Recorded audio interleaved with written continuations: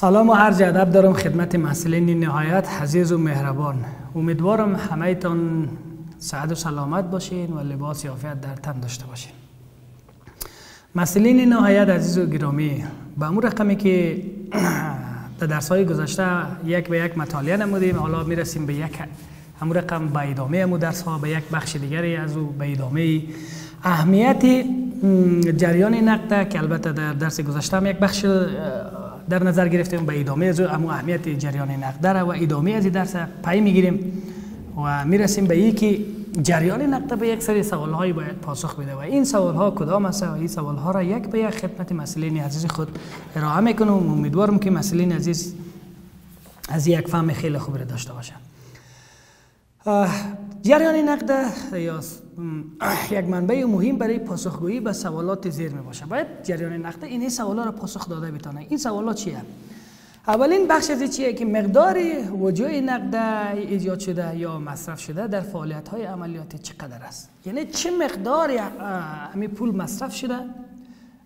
همین پولی که ایجاد شده چه مقداره؟ یعنی چه مقدار پول ایجاد شده و چه مقدار پول مصرف شده؟ یعنی چه مقدار پول خلق شده و چه مقدار پول خرج شده؟ و این خرج و این ایجاد یا این آمده و این باید یک محاسبه شه که چه مقدار است؟ در یک مدت معین. وقتی این ما به یک مدت معین اندازه گیری می‌کنیم و این می‌تونه کمک کنه دستن در کارا را که در آینده ها بتونه بر مبنای از این تصمیم بگیرم دقیقا مثل که در قسمت تخمینات ما در تایه و ترتیب بودجه ما تخمینات رو می داشته باشیم. در قسمت امی دریافتی ها یا در قسمت اواید و مصارف نسبت به سالهای گذشته می‌تونیم سالهای آینده را یک تخمین بزنیم همین تخمین می‌تونه خیلی دقیق و یا خیلی کمک کننده باشه در قسمت تصمیم گیری ها و قسمت ترتیب پلان بودجه. و اینمی قسم جریان نقده هم می‌تونه در یک شرکت عین کار را بکنه که ما بتونیم بر مبنای اینی که از یک سال چی تجربه را داشتیم و چی پرداخت را کردیم و پرداخت ها را می‌تونیم در مبنای آینده در قسمت های آینده هم یک حدس بزنیم یا یک پیش بینی بکنیم و می‌تونه این خیلی کمک کنه فعالیت ها دیگه چیزی که البته جریان نقده باید پاسخ بده و ایه که زمانی که شرکت ضرر عملیاتی روبرو شود چه, چه مقدار تقسیم مفاد و ضرر صورت می‌گیرد. اگر خود شرکت به یک ضرر روبرو میشه و این ضرر هم ضرر عملیاتی ضرری که در نتیجه فعالیت شرکت و چه مقدار تقسیم مفاد صورت می‌گیره و بازم ما چگونه همی تقسیم مفاد ما بالاخره چیکار کنیم وقتی در خط مثال مالی ما تقسیم مفاد می‌کنیم بعضی وقتها هست که ما این تقسیم مفاد نمی‌خوایم صورت بده اینا رو می‌خوایم بعضا اونو ضررهایی را که در یک بخش های دیگه داشتیم و اونا رو باید ما کور کنیم یا چگونه ما اونا رو پوش کنیم توسط انمینا ایران باید جریان نقده پاسخ بده که ما چگونه توسط این پول می‌تونیم اونا را پوش کنیم. دیگه چیه؟ منبع نقد پرداخت دیون کدام ها است منبع نقدی پرداخت دیون کدام ها است یعنی ما اگر دیون می‌پردازیم این منبع نقدی یعنی این پول ما از کجا بخش به صورت نقد می‌پردازیم؟ همون بخش باید مشخص شود. اگر مشخص شود می‌تونه راهنما یا راهکاری برای شرکت باشه که شرکت خیلی درست حسابی دقیق بدون کدام تزلزل همون منبع باید معرفی شود که منبع چیه و این منبع از کجا باید پرداخت شود. یعنی با مو تعهدات وقتی ما می‌پردازیم بر مبنای سررسید چی میشه ما این از کجا باید بپردازیم؟ این منبع چیه؟ آیا نقد است؟ اگر نقد است وضع نقدی ما چگونه است؟ اگر نیست از کجا می‌پردازیم؟ و بالاخره اگر نقد نیست از منبع دیگه می‌پردازیم این نقد ما در کجا مصرف کنیم؟ یا چه مقدار اگر می‌پردازیم یک بخشش از نقد می‌پردازیم این فیصدی چقدر یا این مقدار چقدر این باید مشخص شود. این باید چی؟ پاسخ بده باید همین جریان نقد باید به این پاسخ بده که چه مقدار از قادر است که از منبع جریان نقد بپردازه و چه مقدار از از سایر منبع ها باید پرداخت شود. سوال چهارم میره که جریان نقده باید پاسخ بده. ایه که منبع نقده برای بازخرید سهام ممتاز شرکت کدام ها است؟ اگر ما یک جای سهام می‌خریم یک در یک بازار سهام میریم یک سهام یک شرکت یا یک سهام یک نهاد ما می‌خریم. منبع نقد از کجای آیا همین منبع نقد همین نقدینگی که شرکت داره یا نقدینگی که در بانک داریم؟ که البته دومین نقدینگی را می‌تونه برخوردار باشه. یا این از کجا می‌پردازیم؟ باید منبع نقد از یک وقتی ما نقد می‌پردازیم چیه چک است حساب بانکی است خلاصه از کجا منبع است باید ما این منبع را باید مشخص و دقیق پاسخ بدیم. و این خیلی مهمه به خاطر از که ما شرکت از یک نقدینگی خاصی برخوردار باشه و به خاطر نقدینگی شرکت این منبع باید مشخص شود. و این سهام ممکن سهام ممتاز باشه. سهام ممتاز مامور رقمی که در دست گذاشته هم یک جای اشاره کردم. ما دو نوع سهام داریم یک سهام عادی داریم یک سهام ممتاز. سهام ممتاز با او سهام گفته میشه که افرادی که سهامدار میشه و شرکت در قسمت به تصمیم گیری های شرکت نقش داره و سهام عادی از او سهامی است که در تصمیم گیری های شرکت نقش نداره. ولیکن جزء سهامی است که در مدیریت و اداره شرکت نقش داشته بعضی وقتا ما اون سهام های اساسی رو می‌خریم که قیمت اون سهام ها خیلی بالا می باشه وقتی قیمت از اینا خیلی بالا می باشه بخش نقدینگی از کجا میشه؟ پول نقدی که ما می‌پردازیم کجا؟ بانک است نقد است کش است چی گونه است؟ چی است؟ خلاصه کدام منبع هست؟ این منبع باید مشخص شود و به خاطر نقدینگی شرکت باید این پاسخ روشن و دقیق باشه. سوال چهارمی را که می‌بینیم که چه مقدار از سرمایه گذاری ها و تامین مالی شده است چه مقدار از سرمایه گذاری ها تامین مالی شده است؟ وقتی ما بعضی وقتا جریان نقدار می‌گیریم یک مقدار منابع مالی که سرمایه شرکت سرمایه گذاری کرده یا تامین مالی شده است. چه مقدار همین شرکت از سرمایه ها یا سرمایه ها به صورت نقدی تامین مالی شده و چه مقدار از قرض هست؟ معزان یا فیصدی سرمایه و فیصدی نقد شرکت باید مشخص شود. و پول نقدی که در قسمت شرکت بعضی وقتها هست سرمایه گذاری شده اما سرمایه نقده نبوده. و فیصدی این نقده چه مقدار بوده؟ و این خیلی مهمه برای شرکت که چرا که فعالیت شرکت بر مبنای این نقده استواره یعنی به چی مفهوم؟ وقتی شرکت در آغاز فعالیت می‌کنه یا ممکن در مسیری را فعالیت را انجام میده یک مقدار از این پول از سرمایه های شرکت تامین مالی شده و یک مقدار از از سایر منبع ها تامین مالی شده. اولا فیصدی که از سرمایه مالکین یا همو سهمدارا هست چه مقداره؟ و چه مقدار از این سرمایه نقد است و این مهمه برای شرکت که باید پاسخ داده شود و دقیق مشخص بشه.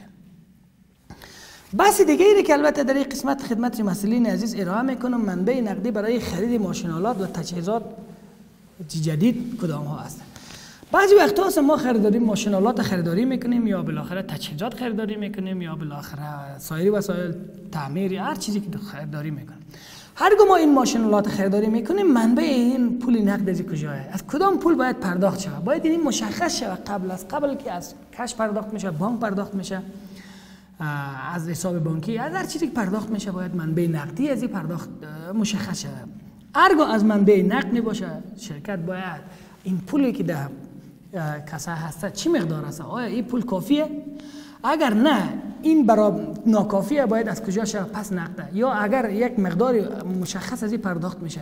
پولی که در کسا باقی میمانه پول کافی خواهد بود برای نقدینگی شرکت یا نه؟ اینا باید دقیق باشه. در صورت دقیق نبودن ممکن شرکت به مشکلات اساسی نقدینگی مواجه شود. و باید ما در این مورد پاسخهای درستی داشته باشیم. سوال هفتمی که باید پاسخ بدهی چه زمانی مفاد افزایش می‌یابد؟ و وجه نقد حاصل وجه نقده حاصل کمتر است.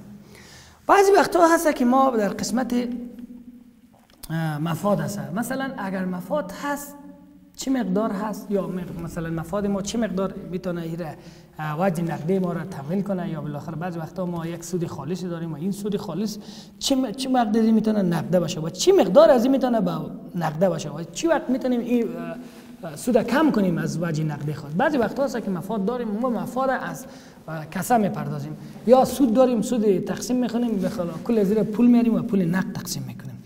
و این باعث میشه که روی جریان نقده یک اثرات عمیقی داشته باشه. باید این مشخص شود که آیا وقتی یک سود یا مفاد تقسیم میشه یا نمیشه از پول نقد میشه یا نه؟ یا مثلا از سایر دارایی ها به افراد تقسیم میشه؟ مثلا از حساب بانک به افراد پرداخت میشه.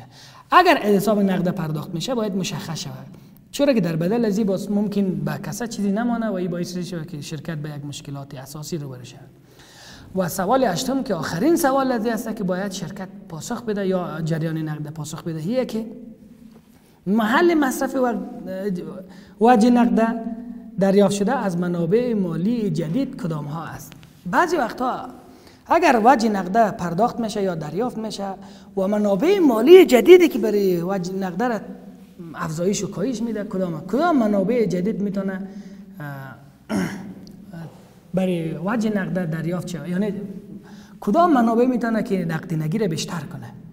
و این منبع کدام مثلا اگر ما می‌خوایم در آینده نقدینگی را افزایش بدیم از کجا می‌خوایم افزایش بدیم؟ از کدام بخش می‌خوایم افزایش بدیم؟ می‌تونه همون بخش باید مشخص بشه. و اگر ما در یگان جای محل مصرف می‌کنیم در کدام بخش می‌خوایم مصرف کنیم؟ چه مقدار می‌خوایم مصرف کنیم؟ و این آخرین سوال هایی است که در قسمت جریان نقده باید پاسخ داده شود و این پاسخ ها می‌تونه خیلی مهم و اساسی باشه و در جریان نقد خیلی می‌تونه اثرگذار باید خیلی تاثیرگذار باشه. و شما همین رقم که می‌بینید این سوال هایی که در ارتباط با جریان نقد است در قسمت مصارف عملیاتی که اگر مصارف عملیاتی میشه در حقیقت از جریان نقده باید پول پرداخته شه در قسمت مفاد ضرر است یا بخش های عملیاتی دیگه است و اینا هم باید دقیقا از جریان نقده پرداخت میشه باید مشخص شه.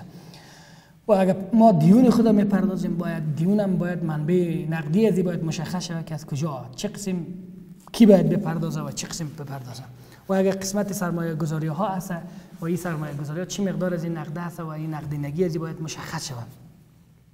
و دیگه در قسمت منبع نقدی در قسمت خریداری ماشینالات اگر ماشینالات خریداری میشه ما باید جریان نقدی خود مشخص کنیم که کدام ماشینالات از کدام پول باید بپردازیم.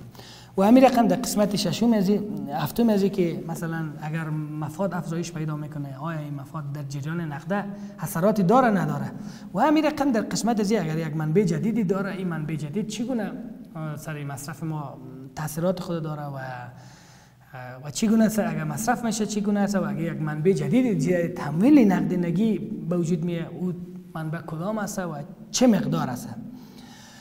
دیگه چیه؟ کاربرد راپورهای مالی برای پاسخگویی به این سوالات و سوالات مشابه تجزیه و تحلیل جریان نقد را به عنوان یک ابزار تحلیل مهم مورد استفاده قرار می‌گیره کسایی که راپورهای مالی را استفاده می‌کنه و بر مبنای راپورهای مالی پاسخ تصمیم می‌گیره پاسخهایی را که در این مورد ارائه میشه باید این پاسخها را اون افراد به صورت دقیق و درست تجزیه و تحلیل کنه و بررسی کنه.